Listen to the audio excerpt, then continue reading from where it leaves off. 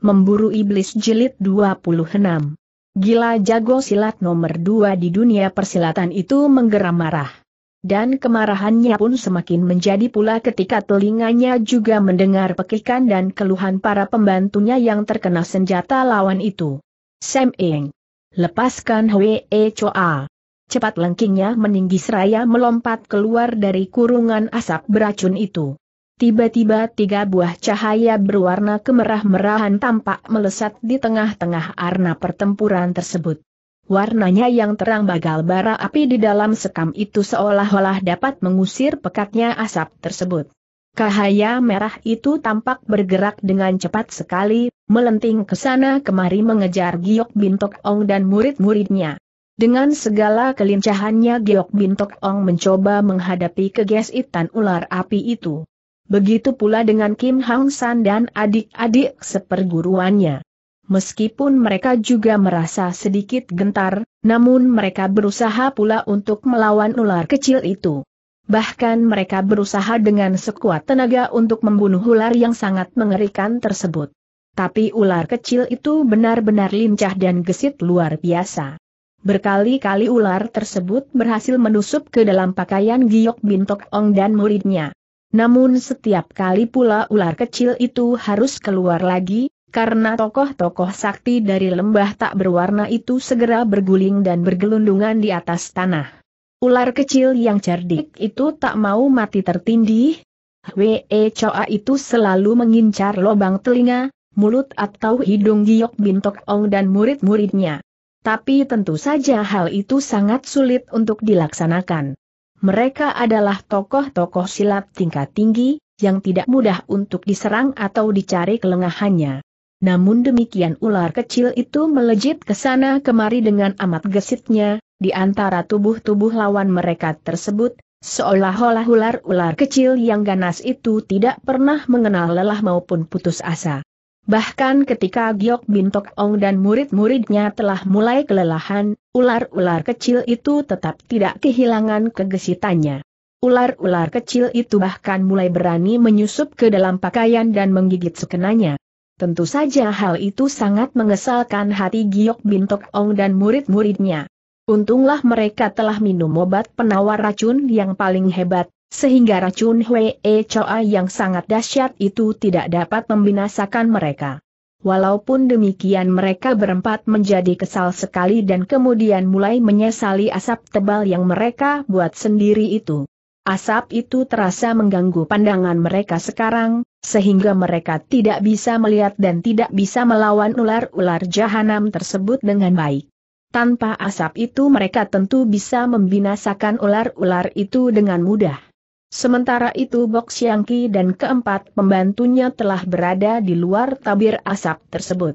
Sambil berusaha mengobati luka-luka yang mereka peroleh tadi, mereka mencoba mengetahui apa yang telah terjadi di dalam tabir asap yang amat pekat itu. Sam Eng, di manakah pemuda itu? Rasa-rasanya aku tidak pernah beradu tangan ketika berada di dalam tadi, dengan heran Bok Siangki bertanya kepada pembantu-pembantunya. Entah, tuanku. Hamba pun rasa-rasanya juga tak bersinggungan dengannya tadi. Jangan-jangan dia telah lari meninggalkan arna pertempuran ini. Tidak mungkin. Kita telah mengepungnya tadi. Kalaupun dia telah lari, Giok Bintok Ong dan murid-muridnya itu tentu telah pergi pula. Bocah itu tentu masih ada di dalam asap itu, ujar anggota Semeng yang termuda seraya meringis kesakitan. Metu kiri dan pelipis kirinya ternyata telah rusak dan menjadi cacat terkena letusan peluru giok bintok ong tadi. Benar katamu, Pek Eng, Garuda Putih. Aku pun masih mempunyai dugaan demikian pula. Pemuda itu tentu masih berada di dalam asap itu. HMMH bagaimana dengan luka? Luka kalian? Bagaimana kalau kita masuk lagi ke dalam arna untuk membantu ular-ular kita Bok Siangki menggeram tak sabar. Kami telah selesai mengobati luka-luka kami, tuanku. Meskipun agak parah, tapi kami sekarang sudah siap untuk bertempur. Kami justru sangat mengkhawatirkan jarum yang menembus paha tuanku itu, Hek Eng, Garuda Hitam, Anggota yang tertua dari Semeng itu menjawab perlahan. Bagus. Aku pun tidak apa-apa. Jarum itu telah ku keluarkan pula. Daging pahaku telah kurobek sedikit untuk mengeluarkannya. Kalau begitu mari kita terjun lagi ke Arna. Marilah, tuanku. Demikianlah, masuknya kembali mereka itu ke dalam arna pertempuran ternyata bersamaan pula dengan habisnya kesabaran Giok Bintok Ong dalam menghadapi Hwe Choa. Karena tokoh lembah tak berwarna itu juga sangat mengkhawatirkan Liu Yang Kun, yaitu kalau-kalau pemuda itu telah diringkus lebih dahulu oleh lawannya, maka ia telah mengambil keputusan yang tak dapat ditunda lagi. Kakek tampan itu telah memutuskan untuk mempergunakan peliektan. Apalagi ketika pada saat itu pula ia mendengar jeritan N.I.O. Kin Ong, muridnya. Jerit kematian. N.I.O. Su Te Kim Hang San memekik kaget. N.I.O. Su Heng Teng Hu berseru pula. Suyiyit. Suyiyit tiba-tiba Giok Bintok Ong bersiul panjang dua kali, memberi tanda atau isyarat kepada murid-muridnya itu untuk menyingkir dari arna sejauh-jauhnya. Dan pada detik itu pula kakek tampan itu membanting peluru mautnya. Kemudian bergegas melesat pergi meninggalkan arna. Demikian pula dengan Kim Hang San dan Teng Hu meskipun keduanya belum lenyap rasa kagetnya. Hampir saja mereka bertiga bertubrukan dengan Bok Siang Ki dan pembantu-pembantunya. Untunglah kedua belah pihak sama-sama lincahnya dan sama-sama tinggi ilmu meringankan tubuh mereka, sehingga dengan tangkas dan gesit, masing-masing cepat menghindarkan diri. Giok Bintok Ong dan kedua muridnya cepat menjatuhkan diri dan menggelundung pergi cepat sekali. Sedangkan Bok Siangki dan para pembantunya cepat pula menggeliatkan tubuh mereka ke samping, kemudian melesat ke belakang menjauhkan diri. Entah mengapa, mendengar suara siulan Giok Bintok Ong dan menyaksikan ketergesaan lawan mereka itu, Bok Siangki dan para pembantunya menjadi curiga. Tiba-tiba saja mereka juga ikut meloncat pergi menjauhkan diri. Biarpun tidak sejauh lawan-lawan mereka itu. Dan pada saat itu pula terdengar sebuah ledakan yang maha dahsyat di tengah-tengah arna pertempuran itu. Sebuah ledakan yang benar-benar mengguncangkan isi hutan tersebut. Tanah dan pasir berhamburan ke udara. Empat atau lima batang pohon besar di sekeliling arna itu roboh pula dengan suara yang bergemuruh. Bok Siangki dan para pembantunya yang benar-benar tidak menduga akan hal itu, terlempar pula dengan kuatnya. Tubuh mereka melanggar pepohonan di belakang mereka, kemudian terbanting jatuh ke dalam semak-semak. Bok Siangkai, Hek Eng dan Ui Eng tidak apa-apa. Mereka itu hanya menderita beberapa goresan luka akibat melanggar pepohonan tadi. Tapi Pek Eng orang yang termuda di antara mereka menderita patah tulang pada kaki kirinya. Kaki itu patah ketika melanggar sebatang pohon syong besar. Meski pohon tersebut juga berderak patah tersabet kakinya. Sebaliknya Giok Bintok Ong dan kedua orang muridnya, Kim Hang San dan Teng Hu, selamat tak kurang suatu apa. Mereka bertiga bangkit berdiri 15 atau 20 tombak dari tempat ledakan. Pakaian mereka memang menjadi kotor oleh tanah dan lumpur. Mereka berdiri mengawasi tempat mereka bertempur tadi, tapi kegelapan malam menghalangi pandangan mereka. Su? N.I.O. Su Te, telah, telah tiada Kim Hang San berkata tersendat-sendat. Ah, Nio Suheng, Teng Hu mengeluh pula dengan sendu. Giok Bintok Ong menghela napas panjang. Sudahlah kita tak perlu terlalu menyedihkan kematiannya. Dia mati karena Hwe Choa. Dan Hwe Choa itu kini sudah binasa pula mengiringinya. Sekarang Nio Kin Ong tentu tersenyum gembira di alam baka sana. Sayang Bok Siangki dan orang. Orangnya sempat menghindar dari neraka itu. HMMMMH. Tapi belum tentu mereka selamat, suhu. Paling tidak mereka tentu terluka parah. Mereka berada terlalu dekat dengan tempat ledakan itu, Teng Hu menyaut. Ya, tapi pemuda yang membawa buku rahasia itu tentu hancur pula bersama bukunya. Aku belum melihat dia keluar dari kurungan asap itu, Kim Hang San berkata pula. Biarlah. Daripada jatuh ke tangan Bok Siang Ki, Giok Bintok Ong menghentikan omongan muridnya. Demikianlah, kedua belah pihak sama-sama beranggapan pula bahwa Liu Yang Kun telah hancur luluh bersama bukunya oleh ledakan itu. Oleh karena itu pula masing-masing pihak menganggap bahwa perselisihan mereka tidak perlu dilanjutkan lagi. Apalagi kedua belah pihak sekarang telah sama-sama mengalami kerugian pula. Giok Bintok Ong telah kehilangan salah seorang muridnya, sedangkan Bok Siang Ki walaupun tidak kehilangan salah seorang pembantunya, tapi keadaan Pek Eng itu hampir sama dengan orang mati. Kalaupun harus ada perang tanding lagi, orang termuda dari Sam Eng tersebut juga tidak bisa berbuat apa-apa pula. Bahkan sekarang justru Bok Siang Kilah yang kemudian bergegas mengajak pergi para pembantunya. Dengan musnahnya buku yang diperebutkan itu, praktis tinggal Bok Siang Ki dan Bu Tek Sintong lah yang memiliki bagian dari buku itu. Jadi kalau ia tidak lekas-lekas pergi, mungkin ganti Giok Bintok Ong lah yang kemudian justru akan meminta sebagian dari buku yang lain itu kepadanya. Sebaliknya Giok Bintok Ong yang telah kehilangan salah seorang muridnya itu juga tidak ingin memperpanjang urusan itu lagi.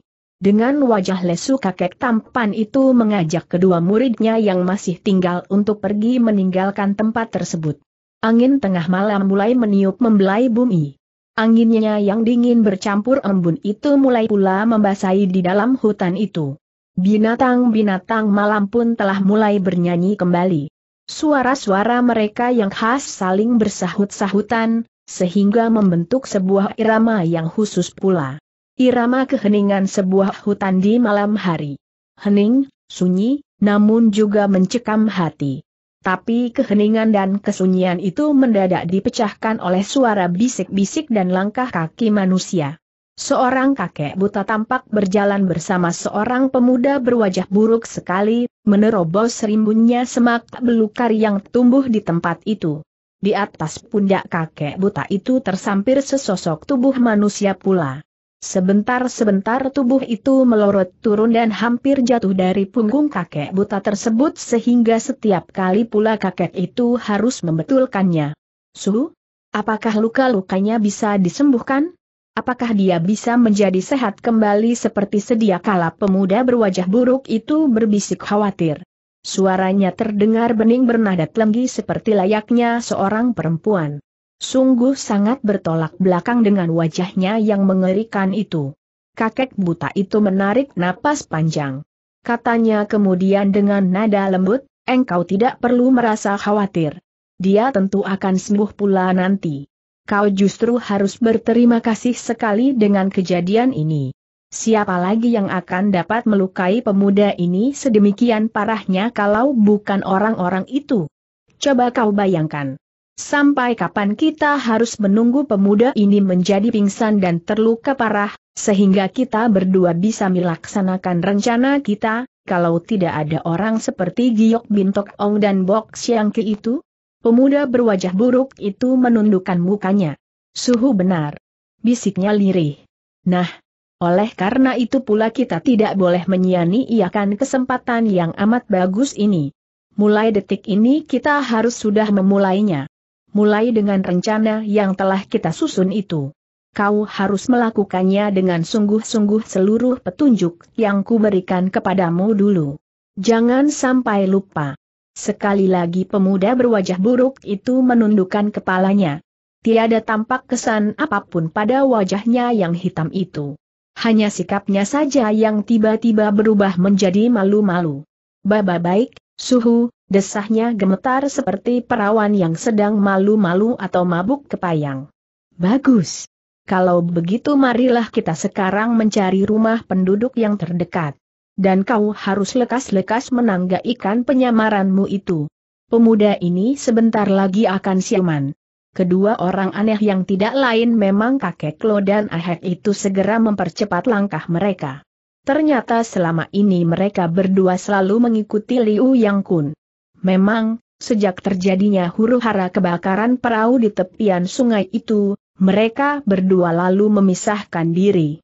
Tapi walaupun demikian secara diam-diam mereka tetap mengikuti segala langkah Liu Yang Kun. Dan setiap saat pula mereka berdua selalu mencari kesempatan atau menanti kesempatan untuk melaksanakan rencana rahasia yang hendak mereka lakukan terhadap Liu Yang Kun. Demikianlah setelah dengan tekun mereka menanti, akhirnya kesempatan tersebut datang juga. Mereka berdua sampai di hutan itu malam itu. Mereka menyaksikan Liu Yang Kun bertempur melawan Giok Bintok Ong dan Bok Xiang Ki. Dengan berharap-harap cemas mereka berdua menantikan akhir dari pertempuran tersebut.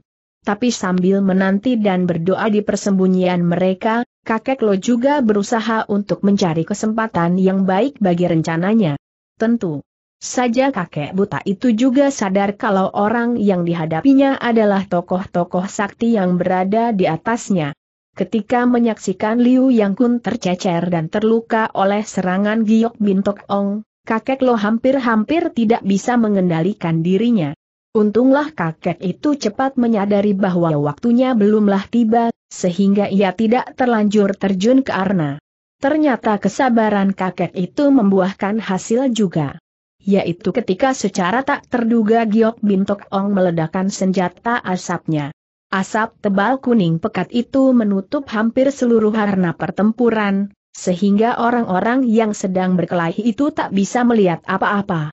Mereka bertempur secara membuta dan hanya mengandalkan panca indera mereka yang lain saja. Pada saat itulah kakek Kelo terjun ke dalam pertempuran. Terjun secara diam-diam, tanpa sepengetahuan orang-orang yang sedang berkelahi. Demikianlah, dengan matanya yang memang sudah buta itu kakek lo justru menjadi orang yang paling awas di dalam gelapnya tabir asap tersebut. Kalau semua orang menjadi bingung dan sulit membedakan lawan, kakek lo justru dengan mudah mendapatkan Liu Yang Kun. Dan kemudian dengan perlindungan tabir asap itu pula kakek lo berusaha melumpuhkan Liu Yang Kun yang sudah terluka parah itu.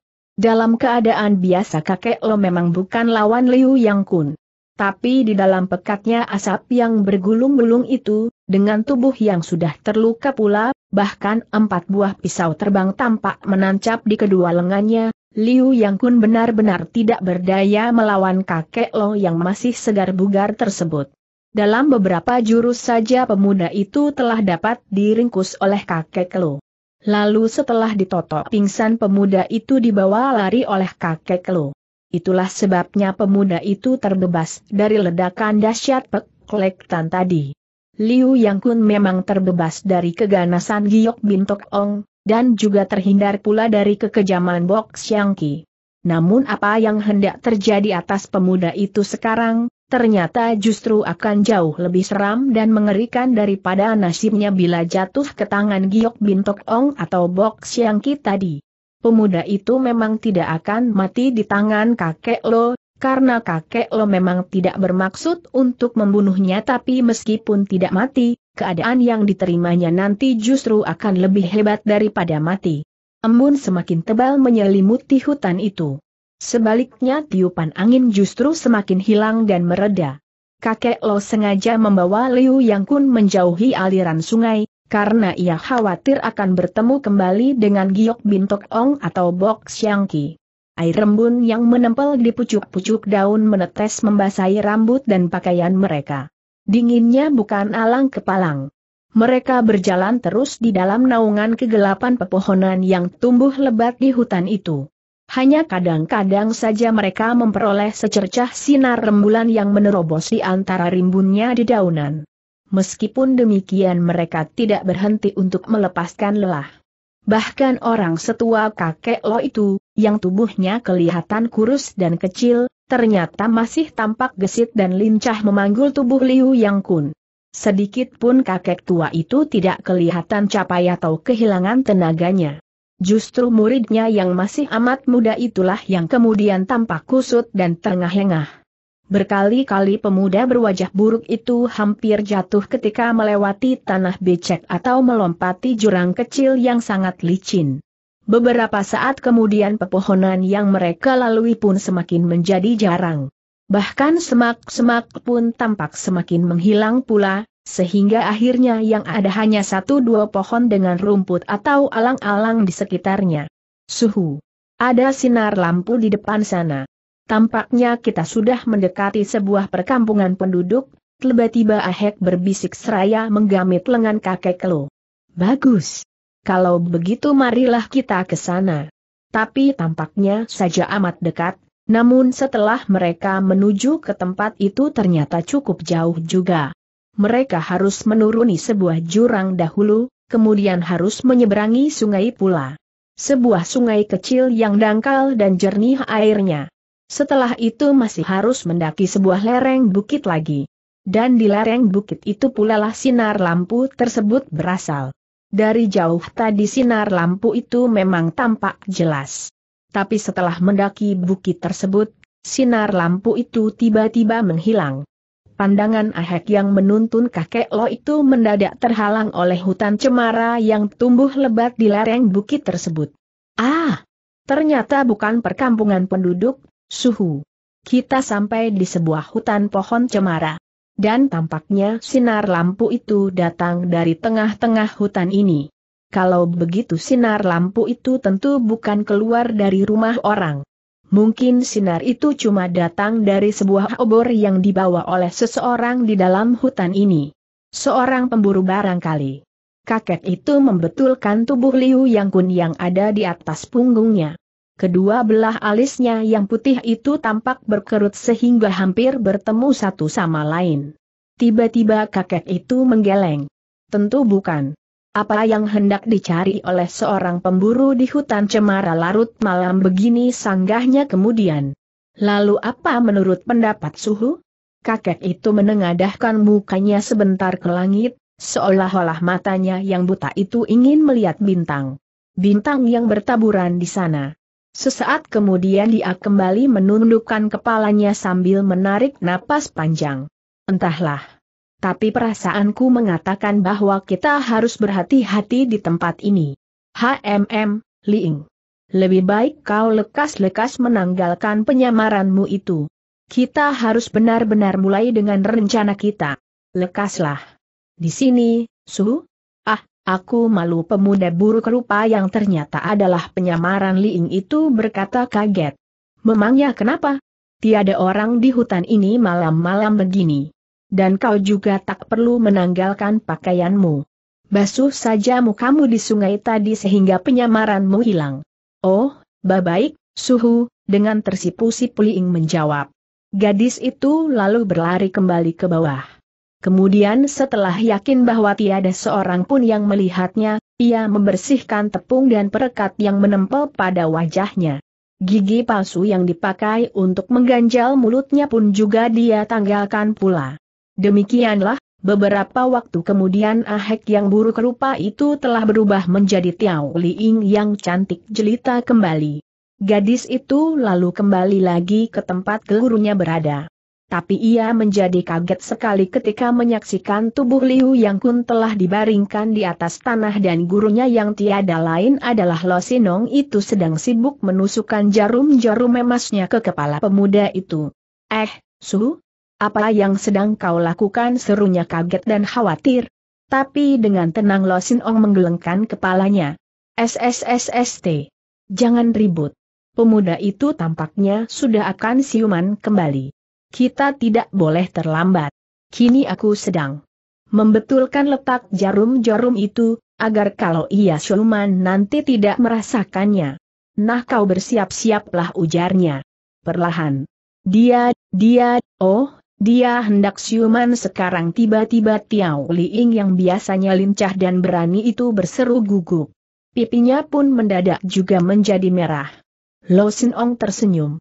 Biarpun buta, tapi ia bisa merasakan nada suara muridnya yang gembira, gugup dan tegang itu. Tenanglah. Jangan gugup. Bisa berantakan rencana kita itu nanti. Bersikaplah wajar, seakan-akan tidak terjadi apa-apa pada kita. Nah sekarang mari kita bawa dia ke sungai itu. Kaita guyur dia dengan airnya yang dingin, biar lekas sadar. Lo Sin Ong lalu membawa Liu Yang Kun ke sungai. Kemudian dicelupkannya telapak tangannya ke dalam air untuk seterusnya ia usapkan ke wajah pemuda itu. Tiga kali hal itu ia lakukan ketika tiba-tiba pemuda itu sudah membuka matanya. Hah pemuda itu tersentak kaget lalu bangkit berdiri dengan tiba-tiba. Sigap dan cepat sekali, sehingga tokoh sakti seperti Lo Sinong dan Tiao Li Ying yang sudah bersiap siaga sejak semula itu pun tetap ikut kaget pula.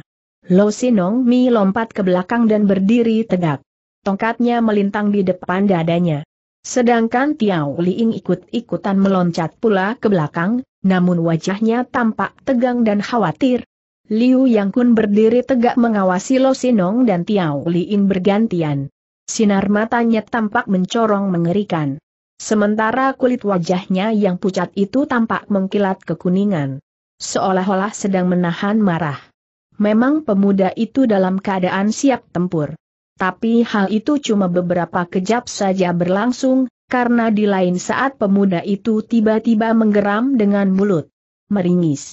Kepalanya terasa sakit, seperti ada sesuatu yang menyengatnya. Bahkan beberapa saat kemudian seluruh tubuhnya juga terasa linu dan lemas. Dan pemuda itu juga terkejut ketika melihat kedua buah lengannya telah dibalut dengan kain pula. Sia, siapakah kalian? Aa apa yang telah kalian perbuat terhadapku katanya kaget. Plong, lega hati Lasin Ong sekarang. Ternyata garapannya berhasil. Pemuda sakti itu sudah tidak mengenal mereka lagi tidak mengenal dia sebagai kakek lo dan juga tidak mengenal Tiao Li Ying pula. Dan hal itu berarti bahwa pemuda itu telah melupakan masa lalunya. Oleh karena itu Lo Sin Ong segera memberi isyarat kepada Tiao Li Ying untuk segera menjalankan rencana mereka. Tapi untuk beberapa saat gadis itu masih bungkam saking tegangnya. Gadis yang biasanya lincah dan berani itu hanya mampu memandang kekasihnya dengan mata terbelalak serta dengan bibir yang bergetar pucat. Kenapa kalian diam saja? Siapakah sebenarnya kalian berdua ini? Apa yang telah kalian perbuat terhadapku di hutan malam-malam begini Liu Yang Kun berseru pula kembali. Suaranya juga masih terdengar tegang dan curiga. Koko akhirnya Tiao Li Ying menegur setelah dengan susah payah dapat menguasai hatinya. Namun dengan cepat Liu Yang Kun menghindar ketika gadis itu hendak memeluknya. Dengan air muka semakin heran ia memandang Tiao Li Ying kau, kau siapa? Mengapa kau memanggilku Koko? Apakah engkau adikku? Tiao Li Ying kembali terdiam dan menjadi salah tingkah lagi. Semua rencana dan petunjuk yang ia terima dari Lo Sinong tiba-tiba juga menghilang dari ingatannya. HMM, Yang Kun, mengapa kau menjadi lupa kepada istrimu sendiri? Oh, celaka Lo Sinong tiba-tiba mengeluh dengan suara keras untuk memancing perhatian Liu Yang Kun. Benar juga. Bagai disengat lebah Liu Yang Kun tersentak menghadapi Lo Sinong. Wajahnya semakin bingung. Istriku? Dia, ini, istriku desahnya tertahan. Tiao Liing sendiri seperti terlepas dari beban berat yang menindihnya. Sambil menjerit ia menubruk dada Lo Sinong dan menangis sepuas-puasnya. Suhu A aku takut. Aku, A malu. Jangan-jangan. Jangan-jangan ia masih tetap sadar. Jangan-jangan dia mencemoohkan aku. Oh, oh, oh, suhu ia mengeluh di antara isaknya. Sebaliknya tangis Tiao Liing itu ternyata semakin mengalutkan hati dan pikiran Liu Yang Kun. Pemuda yang kini telah menjadi lupa akan masa lalunya, Akibat cekokan-cekokan obat dan jarum-jarum emas yang dimasukkan ke kepalanya oleh Losinong itu, semakin menjadi bingung menghadapi hal-hal yang tak dimengertinya itu. Pikirannya seolah-olah telah buntu dan tak tahu apa-apa. Rasanya ia benar-benar seperti bayi yang baru saja lahir. Akhirnya Liu Yang Kun menatap Losinong yang ada di depannya. Dipandangnya orang tua itu dengan wajah sedih dan tertekan. Kakek. Tolonglah aku. Aku benar-benar sangat bingung. Aku sungguh-sungguh tak tahu apa-apa. Siapakah sebenarnya aku ini? Dan siapa pula kakek berdua ini? Mengapa aku berada di tempat ini? Dan mengapa pula kakek berada pula di sini bersama aku? Tolonglah, kek rintihnya. Memelas seperti orang yang menderita sakit berat. Lo Sin Ong menundukkan kepalanya dan berbisik pelan kepada Tiao Liing, lihat. Dia benar-benar telah melupakan segalanya. Berarti semua rencana kita berhasil dengan baik. Kau tidak perlu takut lagi. Kau harus melakukan peranmu sebaik-baiknya. Kau masih ingin menjadi istrinya, bukan? Tiao Ling menghentikan isaknya. Masih dengan butir-butir air mata yang menggenangi matanya gadis itu tersenyum. Pelan-pelan gadis itu menganggukkan kepalanya. Lo Sin Ong berdesah lega. Kemudian sambil memiringkan wajahnya ke arah Liu Yang Kun ia berkata, Yang Kun, Sungguh tak kusangka luka-luka yang kau peroleh dalam pertempuran itu telah membuatmu menderita seperti ini. HMMMH. Luka-luka dalam pertempuran. Aku baru saja berkelahi. Dengan siapa Liu Yang Kun tersentak kaget. Otomatis matanya memandang kain pembalut yang melilit lengannya. Bagaikan seorang pemain sandiwara ulung orang tua itu menunduk sedih. Dipeluknya kepala Tiao Liing yang bersandar di dadanya. Ya, tak kusangka semuanya berlalu sedemikian cepatnya. Kau yang kemarin masih segar bugar dan tampak mesra dengan istrimu ini, ternyata kini telah berubah sama sekali akibat luka-luka itu. Oh oh oh tanda seru orang tua itu sengaja menggelitik hati Liu Yang Kun. Benar saja Liu Yang Kun cepat melompat ke depan dan menyambar lengan Lao Sin Ong. Cepat bukan main, sehingga Lo Sin Ong yang agak ragu-ragu itu tidak kuasa mengelak lagi. Lengannya yang memegang tongkat itu telah dicengkeram oleh Liu Yang Kun. Kek, katakanlah cepat apa yang terjadi pada diriku? Lekaslah. Jangan kasiksa aku berlama-lama pemuda. Itu memohon dengan sangat. Lo Sin Ong mendorong tubuh Tiao Ing dan menyuruhnya duduk, lalu sambil mempersilahkan Liu Yang Kun pula ia duduk di samping muridnya itu. Yang Kun, namamu adalah Liu Yang Kun. Kau memang benar-benar suami dari muridku ini. Namanya Tiao Liing kalian adalah pengantin baru, Lo Sin Ong memulai cerita palsunya. Liu Yang Kun. EHM, ya, rasa-rasanya aku juga sangat mengenal nama itu. HMM. Jadi namaku Liu Yang Kun. Lalu, dia itu istriku Liu Yang Kun bergumam sambil mengangguk-anggukan kepalanya. Matanya melirik Tiao Liing yang menjadi merah pada mukanya. Kemudian pemuda itu mengetuk-ngetuk dahinya sendiri dengan jari-jarinya. Tiao Liing, istriku. Benar rasa-rasanya aku memang sudah beristri. Cuma aku memang lupa nama itu. Dia memang istrimu. Dia adalah putri Tung Hai Tiao, tokoh besar dari lautan timur sana, Lo Sin Ong menerangkan lagi. Tung Hai Tiao. Aku sudah melupakannya pula. HMM. Lalu siapa orang tuaku? Dari mana aku berasal? Kini Lo lah yang ganti terdiam menerima pertanyaan pemuda itu. Sekejap orang tua itu menjadi bimbang untuk menjawabnya. Apakah ia harus berbohong atau mengatakan yang sesungguhnya? Namun sekejap kemudian orang tua itu telah mengambil keputusan pula. Dia harus mengatakan yang sebenarnya, sebab tidak mungkin membohongi orang tentang pemuda itu. Liu Yang Kun telah terkenal di dunia persilatan.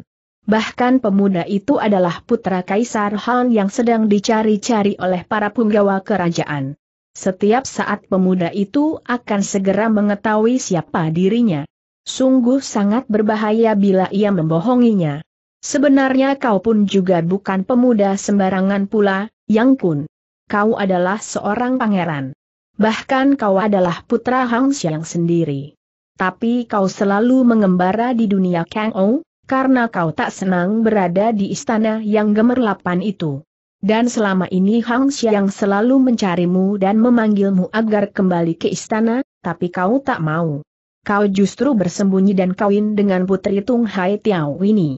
Liu Yang Kun ternganga. Ia seperti tak percaya kepada cerita orang tua itu. Tapi apa daya? Ia benar-benar tak mengerti apa-apa, sehingga ia juga tidak bisa membantahnya. Lalu siapakah yang telah berkelahi dan melukai aku kemarin tanyanya kemudian. Lo Sin Ong menghela napas, lalu bercerita dengan singkat pertempuran yang terjadi di tengah-tengah hutan semalam. Bagaimana pemuda itu berkelahi dengan Giok Bintok Ong dan Bok Siang Kai, tokoh nomor 4 dan nomor 2 di dunia persilatan. Tapi tentu saja orang tua itu tidak bercerita tentang sebagian dari buku rahasia yang mereka perebutkan itu, karena buku itu kini berada di dalam saku bajunya. Giok Bintok Ong dan Bok Siang Ki lagi-lagi Liu Yang Kun merasa belum pernah mengenal nama-nama itu. Dan hal itu benar-benar sangat menyedihkannya. Sudahlah, kau tak perlu menjadi sedih karena keadaanmu ini. Yang penting kau selamat lebih dahulu. Suatu saat kau tentu akan sembuh kembali seperti semula. Sekarang marilah kita meneruskan perjalanan kita tanda seru Lo Sin Ong pura-pura membujuk dan membesarkan hati Liu Yang Kun. Ah, ke mana kita akan pergi? Aku sama sekali tak mempunyai tujuan, Liu Yang Kun menjawab hambar. Tentu saja kita pulang ke rumah, Koko. Kau harus banyak beristirahat agar ingatanmu menjadi segar kembali, tiba-tiba. Tiao Liing menyela dan menyentuh lengan pemuda itu dengan jari-jarinya. Liu Yang Kun menoleh dengan cepat. Ditatapnya wajah Tiao Liing yang cantik itu dengan pandangan asing tapi ia buru-buru menundukkan mukanya lagi ketika menyaksikan pancaran sinar kasih di mata gadis itu. Be benarkah kau istriku katanya kemudian seperti tak percaya. Untuk sesaat pipi Tiao Liing menjadi merah. Namun di lain saat gadis itu telah menemukan keberaniannya kembali. Ah, Koko. Mengapa kau masih belum percaya juga? Kita memang belum resmi dimeriahkan dengan pesta oleh ayahku. Tapi percayalah, kita memang benar-benar, suami istri. Baik, baiklah kalau begitu, Liu Yang Kun menyahut dengan gugup. Apalagi ketika Tiao Liing merangkul pinggangnya dan menyandarkan kepalanya di pundaknya. Sudahlah. Marilah sekarang kita berangkat Lo Sin Ong memotong pula, kemudian mendahului Mi langkah pergi meninggalkan tempat itu. Tiao Liing segera mengajak Liu Yang Kun untuk mengikuti orang tua itu. Ketika mereka mendaki lereng bukit itu kembali, Lo Sinong berkata kepada Liu Yang Kun, Yang Kun, sementara ingatanmu belum pulih kembali, kau lebih baik menurut saja apa perintah istrimu. Biarlah dia yang mengatur dan memberitahukan kepadamu, apa yang seharusnya kau lakukan nanti. Liu Yang Kun memandang orang tua itu sekejap, kemudian menoleh pula ke arah Tiao Liing, baiklah, aku menurut. Jawabnya pelan seperti kepada dirinya sendiri.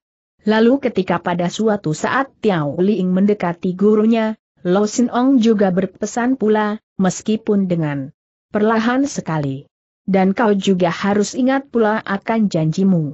Kau harus mengubah sikap dan kelakuanmu selama ini. Gadis itu mengerling dan memainkan bibirnya. Tentu saja, Suhu. Aku pun tak ingin kehilangan dia pula, desahnya manja. Demikianlah, mereka bertiga sampai pula ke tempat berhenti mereka semalam. Sementara itu di ufuk timur mulai membersit sinar pagi yang kemerah-merahan. Suhu, lihat. Sebentar lagi Fajar akan menyingsing. Walaupun tidak bisa melihat, namun Lo Sin Ong bisa merasakan nada gembira yang terpancar dalam suara muridnya itu. Diam-diam hatinya juga ikut berbahagia pula. Ak oh, moga-moga kebahagiaannya ini benar-benar bisa mengusir kekelaman jiwanya dan menuntunnya ke dalam kehidupan yang lebih baik. Dengan demikian dosa yang telah kuperbuat ini rasanya menjadi ringan dan tidak sia-sia, ia bersyukur di dalam hati. Dan ketika matahari benar-benar tersembul di ufuk timur, maka tirai kegelapan pun rasanya seperti terkuak dari muka bumi. Meskipun masih remang-remang, tapi semuanya sudah dapat ditembus dengan penglihatan mereka. Mengapa kau diam saja sejak tadi? Lihatlah, pemandangan alam demikian indah dan mempesonakan. Kau pernah menyaksikan panorama seperti ini tiba-tiba Tiao Liin berkata kepada Liu Yang Kun. Jari tangannya menunjuk ke lembah di sebelah kiri mereka. Lembah dalam mana sungai kecil tadi mengalir. Liu Yang Kun mengikuti arah jari telunjuk itu. Dan matanya segera memancarkan sinar kekaguman pula.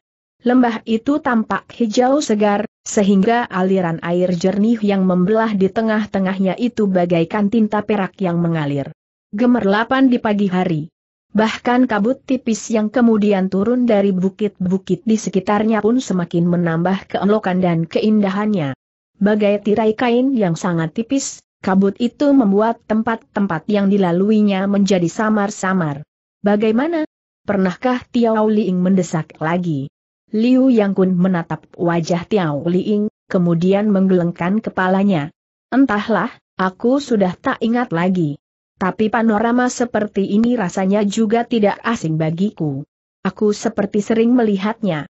Bahkan rasanya aku pernah tinggal pula di tempat seperti ini. Tiao Liing meraih lengan Liu Yang Kun. Matanya melirik, sementara bibirnya menyunggingkan senyum manis sekali. Ah, mana mungkin?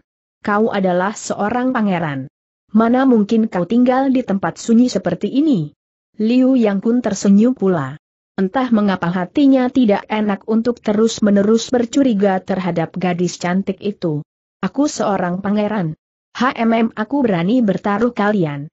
Keliru dalam hal ini. Aku sama sekali tidak merasa sebagai pangeran selama ini. Aku memang telah kehilangan seluruh ingatanku, tapi aku tidak kehilangan perasaan dan naluriku. Ketika gurumu itu mengatakan bahwa kau adalah istriku, naluriku memang merasakan bahwa aku memang sudah beristri. Ketika orang tua itu juga mengatakan bahwa aku berkelahi dengan tokoh-tokoh ternama di dunia persilatan, hati dan perasaanku juga tidak membantahnya, karena naluriku juga mengatakan pula bahwa aku memang seorang jago persilatan berkepandaian tinggi, eh, maaf, Aku tidak bermaksud menyombongkan diri, tapi kalau kalian katakan bahwa aku seorang pangeran, HMM kalian keliru. Sekali lagi, ku katakan bahwa aku bukan seorang pangeran. Sama sekali aku tidak merasakannya. Aku bahkan sangat setuju kalau kau katakan bahwa aku ini seorang dusun atau seorang pengembara, karena naluriku mengatakan bahwa aku sangat akrab dengan lembah dan gunung yang indah seperti ini. Bahkan aku merasa pernah tinggal lama sekali di tempat seperti ini. Tiba-tiba Tiao Liing tertawa lepas. Begitu ajar dan segar suaranya. Dan begitu cantik pula wajahnya, sehingga tak terasa mata Liu Yang pun seperti terpaku dan terpesona melihatnya. Dan diam-diam hati pemuda itu merasa tergetar. Tak terasa Liu Yang pun meraih jari-jari Tiao Liing kau, kau sungguh cantik sekali. B benarkah kau? Ini istriku bisiknya gemetar pula. Tawa itu tiba-tiba terhenti dengan mendadak. Wajah yang segar dan renyah itu tiba-tiba juga berubah menjadi merah. Bahkan wajah yang cantik itu kemudian tertunduk pula dalam-dalam. Sama sekali tidak berani menatap Liu Yang Kun. Barulah gadis itu menjadi kaget setengah mati ketika tiba-tiba tubuhnya dipeluk. Bahkan semangatnya seperti melayang pula dengan mendadak ketika tiba-tiba bibirnya juga dicium oleh Liu Yang Kun. Selanjutnya gadis itu sudah tidak ingat lagi. Tahu-tahu ia sudah terlena dalam pelukan pemuda yang dicintainya itu. Hem, hem. Kalian kenapa? Ada sesuatu di sekitar kita. Mengapa tiba-tiba kalian terdiam mendadak Lo Sin Ong yang berada jauh di depan mereka itu membalikan badan dan berseru kepada mereka. Tergesa-gesa Tiao Liing melepaskan diri dari pelukan Liu Yang Kun. Mukanya yang cantik itu merah padam bagai udang direbus. Ti tidak apa-apa, suhu, tidak apa-apa jawabnya gugup seraya membenahi bajunya yang kedudoran. Yang tidak kalah kagetnya adalah Liu Yang Kun pemuda itu seperti terbangun dari mimpinya.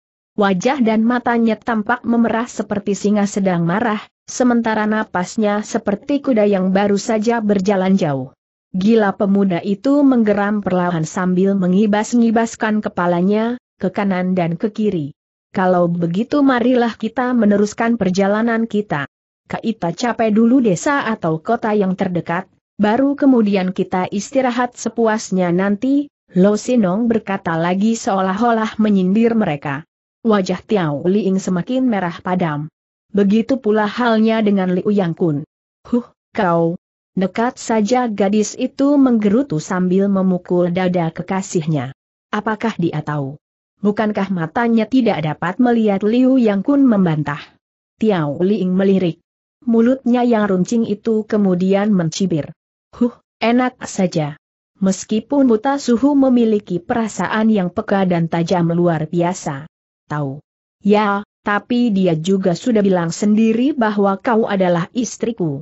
Apa salahnya kalau aku memeluk dan menim Liu Yang Kun mau membantah lagi, tapi keburu ditutup mulutnya oleh Tiao Liing Liing, ayolah. Ajak suamimu Lo Sin Ong berseru lagi. Baik suhu. SSSST ayolah, jangan membantah lagi. Tapi baru beberapa langkah mereka berjalan, Tiao Liing telah berteriak pula. Suhu. Lihat. Aku menemukan bekas tangkai obor di sini. Bahkan tidak cuma satu tapi lima. Buah. Benarkah? Coba kau selidiki, obor itu baru saja dipakai ataukah sudah lama dibuang? Dan apakah ada tanda-tanda yang bisa kita pakai untuk mengenali pemiliknya? Tiao Liing membungkuk dan mengambil tangkai-tangkai obor-obor itu. Dua di antaranya ia berikan kepada Liu Yang Kun. Tolong kau lihat pula pintanya. Liu Yang Kun menerima tangkai obor itu, kemudian mencoba untuk menelitinya. Tangkai obor itu masih hangat, suatu tanda bahwa obor itu memang baru saja dipergunakan. Namun selain itu tiada lagi yang istimewa, karena tangkai obor tersebut juga hanya terbuat dari bambu hijau biasa. Bahkan obor itu agaknya juga dibuat secara darurat dan sembarangan saja. Buktinya garapannya tampak sangat kasar dan satu sama lain tidak sama panjangnya. Ini hanya obor biasa. Tidak ada istimewanya. Memang ada apa? Mengapa tiba-tiba kau tertarik pada benda ini Liu Yang Kun bertanya. Tiao Liing tersenyum, kemudian bercerita tentang sinar lampu yang mereka lihat tadi malam. Kami mengira kalau sinar lampu itu datang dari perkampungan penduduk, tapi ternyata bukan. Namun demikian hal ini juga berarti bahwa kita telah dekat dengan tempat tinggal atau perkampungan penduduk. Benar-benar suatu hal yang amat melegakan setelah berjalan semalam suntuk di hutan saja. Bagaimana, Li Lo Sin Ong mendesak. Hanya tangkai obor biasa, suhu. Tidak ada keistimewaannya. HMMH, masa? Coba kau lihat di sekitar tempat ini. Adakah bekas-bekas jejak manusia di sana? Tiao Ling merengut. Matanya yang bulat bening itu menatap ke sekelilingnya. Kenapa suhu menanyakan yang lain? Bukankah suhu tadi? Eh, benar suhu. Di sini ada bekas-bekas tapak kaki orang. Tumpukan daun cemara kering ini sampai melesak ke dalam tanah diinjak orang tiba-tiba gadis itu berseru nyaring. Liu Yang Kun mendekati istrinya. Dia ikut mengawasi bekas-bekas telapak kaki itu. Benar. Ini memang bekas kaki orang. Tampaknya tempat ini memang telah dekat dengan tempat tinggal manusia. Bagus. Kalau begitu marilah kita ikuti jejak itu. Liing, ayo, kau duluan, Lo Sin Ong berseru gembira. Mereka lalu bergegas mengikuti bekas-bekas telapak kaki itu. Dan sungguh beruntung bagi mereka, karena jejak-jejak kaki itu tampaknya memang masih sangat baru, sehingga amat jelas dan mudah dilihat oleh mati mereka. Kalaupun ada yang kurang jelas, mereka segera mencari tanda-tanda lain di sekitarnya. Beberapa kali mereka melingkari lereng-lereng bukit yang banyak terdapat di daerah itu. Untung pula bagi mereka, tanah yang mereka lewati sedikit berair dan agak becek, sehingga mereka tak pernah kehilangan jejak-jejak tersebut. Suhu. Kita telah sampai di jalan besar akhirnya Tiao Liin bersorak gembira. Betul? Apa kau melihat rumah penduduk juga Lo Sinong menyahut gembira pula? Belum. Tapi aku melihat debu mengepul di ujung jalan besar itu. HMM, tampaknya ada pasukan berkuda yang hendak lewat. Pasukan berkuda? Mengapa ada pasukan berkuda lewat pagi hari begini Sinong terhenyak kaget. Dahinya yang berlipat-lipat itu semakin berkeriput pula. Siapa tahu ada gerombolan perampok atau ada pemberontakan di daerah ini tiba-tiba Liu Yang Kun ikut berbicara. Lau Liing tersenyum. Mungkin kau benar, Koko. Tapi, sudahlah. Kita tak perlu main tebak-tebakan. Sekarang marilah kita mendekat saja ke jalan itu. Kita lihat, apa sebenarnya yang menyebabkan debu mengepul itu? Mereka lalu menuruni lereng bukit itu, kemudian naik lagi ke bukit di depan mereka. Karena ingin lekas sampai di jalan itu, maka masing-masing tanpa terasa lalu mengerahkan ilmu meringankan tubuh mereka. Tiao Liin berada di depan, sementara gurunya yang buta itu mengikutinya dari belakang. Keduanya berloncatan dengan amat lincah dan ringan luar biasa. Ujung sepatu mereka seakan-akan tidak pernah menyentuh tanah. Bahkan kadang-kadang mereka melenting tinggi ke atas, kemudian berjumpalitan melompati semak-semak belukar yang banyak terdapat di lereng itu. Tampaknya gadis itu sengaja memamerkan kepandaiannya kepada suaminya. Dan Tiao Liin benar-benar amat puas ketika menginjakan kakinya di pinggir jalan itu. Wajahnya atau pipinya tampak memerah, tanda bahwa ia sungguh-sungguh telah mengerahkan tenaganya beberapa saat tadi. Ketika melirik ke arah gurunya, gadis itu sempat menyaksikan bagaimana gurunya yang amat sakti itu menarik napas panjang. Suatu tanda juga bahwa gurunya tersebut diam-diam juga telah mengerahkan sedikit tenaganya pula. Tapi ketika ia menoleh ke belakang, di mana Liu Yang Kun berada, tiba-tiba matanya terbelalak. Ternyata sikap dan keadaan suaminya itu sama sekali tidak mengalami perubahan. Air mukanya tetap biasa. Bahkan pernapasannya pun juga masih tetap teratur pula seperti semula. Sedikit pun tidak ada tanda-tanda bahwa pemuda itu baru saja berlari menuruni lereng bukit tersebut. Ada apa? Mengapa matamu terbelalak memandangku? Ada yang salah Liu Yang Kun bertanya kepada Tiao Li Ingoh. Tidak, tidak Tiao Li In berdesah sambil menggeleng-gelengkan kepalanya, tapi matanya tidak bisa menyembunyikan kekagetan dan kekagumannya. Lalu, kenapa kau memandangku seperti itu Liu Yang Kun mendesak? Masih dengan menatap kagum kepada suaminya itu Tiao Liing tersenyum. Senyum bangga dan bahagia. Koko, ilmu meringankan tubuhmu sungguh luar biasa sekali.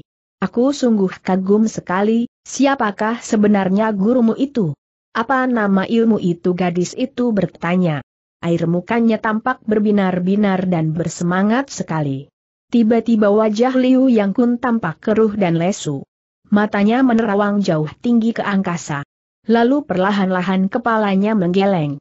Entahlah, aku sudah lupa pula. Aku tak ingat lagi siapa guruku. Dan, aku juga tak ingat lagi nama ilmu itu. Bahkan aku juga sudah tak ingat lagi bagian-bagiannya. Aku hanya bergerak menurut naluriku saja, jawabnya sedih. Lo Sin Ong mendekati Teo Liing dan kemudian menyikut lengan muridnya itu. HMMH. Jangan kau usik dia dengan masa lalunya. Semua itu hanya akan membuatnya sedih. Sebab dia sudah takkan bisa mengingatnya lagi. Kalau ia sekarang masih bisa bersilat, itu hanya karena nalurinya saja. Seperti halnya kalau kita berjalan, berbicara atau bernapas. Kalau kau suruh dia mengingat-ingat, HMM semuanya justru akan menjadi kalut dan kacau malah orang tua itu berbisik perlahan di telinga Tiao Liing oh, oh oh. Nah, sudahlah, kalian jangan berisik lagi. Aku sudah mendengar suara gemuruh di balik hutan itu. Marilah kita bersembunyi Losin Ong kemudian menambahkan dengan suara keras. Mereka bertiga lalu bergegas menyembunyikan diri. Mereka berlindung di balik batu-batu karang besar yang banyak terdapat di kanan kiri jalan itu dan mereka tidak usah menunggu lama, karena sebentar kemudian suara gemuruh dan debu yang mengepul tinggi itu telah muncul di balik tikungan jalan. Suara sepatu kuda segera menghentak-hentak ke telinga mereka. Dan sesaat kemudian mereka telah melihat serombongan pasukan berkuda yang terdiri dari lima puluhan prajurit lewat di depan mereka.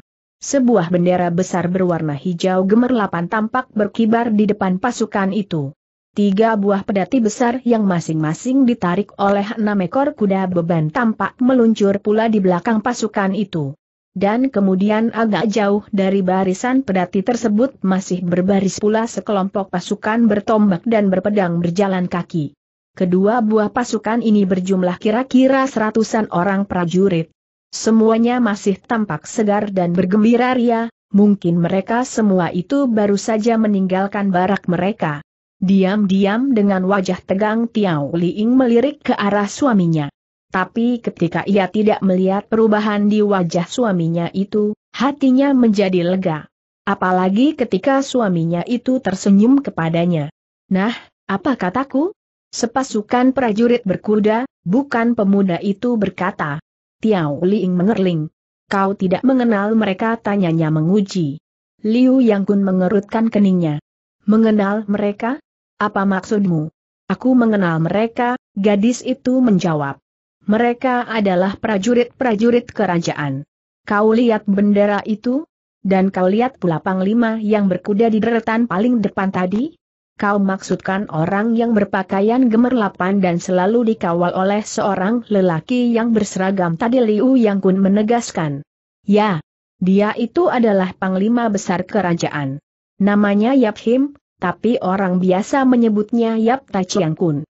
Sedangkan pengawalnya itu bernama Yap Tiong Li, kakak kandung panglima itu sendiri. Orang Kang Ou biasa menyebutnya Hang Lui Kun, si tinju petir dan badai. Mereka berdua adalah orang-orang kepercayaan Hang Xiang. Kepandaian mereka sangat tinggi, terutama Hang Lui Kun Yap Kiong Li itu. Dialah jago silat nomor satu di istana. Eh, masakan kau telah melupakan mereka Tiao Li Ing masih tetap mencoba juga daya ingatan Liu Yang Kun. Ternyata Liu Yang Kun menjadi tidak senang oleh pertanyaan itu. Huh, jadi kau masih menganggap aku ini seorang pangeran pemuda itu berkata kesal. Tiao Liing cepat menyambar lengan suaminya itu. Eh eh eh, jangan lekas menjadi marah. Aku bertanya baik-baik, dan guruku itu memang tidak berbohong ketika mengatakan bahwa kau adalah putra Kaisar Han. Kalau kau memang tidak menyukai pertanyaanku tadi, baiklah aku. Takkan mengulanginya lagi. Aku tadi hanya berpikir, kalau-kalau kau ingin menemui mereka, karena mereka itu memang prajurit-prajurit ayahandamu, katanya cepat pula untuk membujuk dan meredakan kemarahan kekasihnya itu. Liu Yang Kun menatap wajah istrinya, kemudian menghela napas panjang. Sudah kukatakan bahwa aku tidak pernah merasa menjadi seorang pangeran. Oleh karena itu aku juga tak ingin menemui mereka atau menemui siapa saja yang berbau istana. Bahkan sekarang aku menjadi takut malah. Jangan-jangan cerita kalian itu memang benar, sehingga aku harus harus kembali ke istana. HMH, aku benci kehidupan yang berbau gemerlapan dan banyak aturan. Semua itu tidak cocok dengan jiwaku. Aku lebih suka hidup bebas merdeka di alam terbuka, tanpa terikat oleh segala macam aturan dan adat istiadat. Pemuda itu berkata dengan berapi-api dan Tiao Liing menyambutnya dengan rasa gembira dan lega. Karena memang ucapan seperti itu pula lah yang ingin ia dengar dari mulut suaminya itu. Rasa cintanya yang amat besar membuat gadis cantik itu takut kehilangan Liu Yang Kun. Maka betapa bahagia hatinya tatkala mendengar kata-kata tersebut. Nah, mereka telah lewat. Bagaimana sekarang menurut pendapatmu, Liing? Ke manakah kita harus pergi? mengikuti pasukan itu ataukah mencari jalan yang lain tiba-tiba lo. Sin Ong menengahi percakapan mereka. Tiao Liing tersentak kaget. Untuk sekejap wajahnya menjadi merah. Tapi sekejap kemudian ia menoleh ke arah suaminya. Matanya yang bening seolah-olah memancarkan sinar pertanyaan atau meminta pertimbangan kepada Liu Yang Kun. Tapi Liu Yang Kun dam saja. Bahkan pemuda itu balas memandangnya dengan tajam, sehingga Tiao Liing terpaksa mengalihkan pandangannya kembali kepada gurunya. Bagaimanakah menurut pendapat suhu sendiri? Jalan mana yang sebaiknya harus kita pilih lalu balas bertanya kepada gurunya. Lo Sin Ong menengadahkan kepalanya sebentar. Setelah menarik napas berulang kali orang tua itu lalu berkata, pasukan itu tampaknya baru saja berangkat meninggalkan perkemahan tempat mereka melepaskan lelah malam tadi. Hal itu berarti tempat ini jauh dari kota maupun perkampungan penduduk. Oleh karena itu menurut pendapatku kita sebaiknya mengikuti saja pasukan itu dari jauh. Dengan begitu paling tidak kita telah mendapatkan teman seperjalanan. Siapa tahu kita kelaparan atau bertemu dengan perampok di jalan nanti? Ah, Su, Masakan kita takut kelaparan dan takut kepada segala macam perampok Tiao Liing cemberut. Aha, aku cuma bergurau saja. Bagaimana pendapatmu terserah suhu saja. Tanda petik. Lo Sin Ong mengangguk-angguk. Kalau begitu ajaklah suamimu berangkat. Kita ikuti pasukan berkuda itu. Tiao Liing menatap Liu Yang Kun. Bagaimana pendapatmu, Koko? Apakah kau setuju kalau kita berjalan di belakang pasukan berkuda itu? Liu Yang Kun mengangkat pundaknya. Terserah kepadamu. Asal saja kita tidak sampai ketahuan oleh mereka. Tiao Liing mengangguk dan tersenyum manis sekali. Dengan mesra tangannya lalu merangkul dan menggandeng lengan pemuda itu. Kemudian perlahan-lahan mereka melangkah di belakang Lao Sin Ong. Belum juga ada lima-lima mereka berjalan, di depan mereka telah tampak membentang sebuah tembok kota yang dibangun di kaki bukit. Bahkan rumah-rumah penduduk pun sudah banyak pula yang dibangun di sekitar tembok kota tersebut. Sementara sawah dan ladang juga telah mulai bertebaran pula dikerjakan orang di sekitar jalan yang mereka lalui. Ketika rombongan pasukan berkuda yang ada di depan mereka itu berhenti dan membuat kemah di luar tembok kota tersebut, Lo Sin Ong juga berhenti punya. Orang tua itu memanggil Teo Liing Liing, ku dengar suara derap di depan itu telah berhenti. Apakah yang telah terjadi pada mereka? Suhu, kita telah sampai di sebuah kota. Pasukan itu berhenti di luar tembok dan membuat kemah di sana. Apa yang harus kita lakukan? Oh, begitu cepatnya kita sampai di sebuah kota? Kota mana itu? Entahlah, suhu. Tembok kota itu masih jauh dari es ini. Aku belum bisa membaca huruf yang tertulis di atas pintu gerbangnya. Lo Sinong berdiam diri sebentar. Lalu katanya lagi, baiklah. Marilah kita sekarang mencari jalan lain dengan menjauhi perkemahan para prajurit itu. Lalu secara diam-diam kita menyelinap memasuki pintu gerbang kota. Demikianlah, dengan jalan melingkar mereka memasuki pintu gerbang kota itu. Mereka lewat di ladang-ladang dan perkampungan penduduk sehingga mereka tidak bertemu dengan para prajurit itu. Kota Chiaso.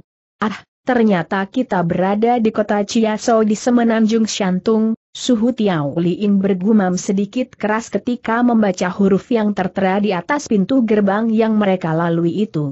Kota Chiaso. Ah, kalau begitu kita berada agak jauh di sebelah timur kota Chinan, Lo Sinong menyahut dengan kening berkerut. Sama sekali tak disangkanya kalau mereka sampai melenceng sedemikian jauhnya dari kota Anlei. Benar, suhu. Ternyata malam tadi kita telah menempuh perjalanan yang jauh sekali. Tapi sungguh kebetulan malah, karena ayahku justru banyak mempunyai kaki tangan di daerah ini. Nanti kita bisa menghubungi mereka. Chin An. Chin An, Chin An tiba-tiba Liu Yang Kun turut bergumam pula ketika Lo Sinong menyebut-nyebut kota Chin An. Dahinya berkerut seakan-akan sedang mengerahkan semua ingatannya. Koko, ada apa Tiao Liin berdesah khawatir? Kau teringat sesuatu? Tidak, tidak. Aku tidak teringat apa-apa. Cuma kota itu rasa-rasanya sudah ku kenal. Malahan kota itu seperti, seperti penting bagiku. HMMM jangan-jangan. Aku memang berasal dari kota itu. Ah! Liing, aku harus ke sana. Aku ingin ke kota itu. Siapa tahu ingatanku akan kembali lagi setelah melihat kota Cinan? Liu Yang Kun menatap mata, Tiao Liing wajahnya tegang, seolah-olah keinginannya untuk pergi ke kota Cinan itu sudah tak bisa diganggu-gugat lagi. Bahkan seandainya dicegah oleh Tiao Liing sekalipun. Tentu saja Tiao Liing menjadi khawatir dan bingung. Kota itu adalah kota yang sangat besar. Kota yang dihuni oleh banyak perwira dan prajurit kerajaan. Bahkan di kota itu juga banyak tinggal tokoh-tokoh persilatan yang terkenal. Malah di antara mereka itu adalah Hek Pian Ho Ui Bunting, ketua Tiam Jong Pai yang dua atau tiga hari lagi akan melangsungkan perkawinannya. Tentu akan banyak lagi tokoh-tokoh persilatan yang akan berkunjung ke kota itu. Lalu bagaimana kalau nanti pemuda itu dikenal orang dan dibawa pergi oleh prajurit-prajurit istana? Koko, bukankah kau tidak ingin bertemu dengan dengan punggawa-punggawa ayahmu? Di kota itu banyak berkeliaran perwira dan prajurit kerajaan. Bagaimana kalau kau dikenali mereka nanti? Tapi, tapi aku harus ke sana. Kita, kita bisa menyamar atau pergi secara diam-diam. Tetapi kalau kau takut, biarlah aku pergi ke sana sendirian. Liu Yang Kun tetap bersikeras untuk melaksanakan keinginannya. hampir saja Tiao Liing tak bisa menguasai dirinya. Kalau saja saat itu mereka tidak sedang berjalan di jalan umum yang penuh orang, mungkin Tiao Liing sudah menangis dan merengek-rengek kepada Liu Yang Kun agar supaya pemuda itu mau membatalkan niatnya. Suhu, bagaimana ini? Dia ingin pergi ke kota Cinan yang banyak prajuritnya itu. Bagaimana nanti kalau ada yang mengenalinya? Oh, oh, oh, gadis itu mengeluh ketakutan. Ah, kalian ini seperti anak kecil saja berdebat dan bertengkar di muka umum. Ayo, kita cari dulu tempat untuk beristirahat, baru kemudian kita rundingkan semua persoalan kalian itu Lo Sinong membentak perlahan.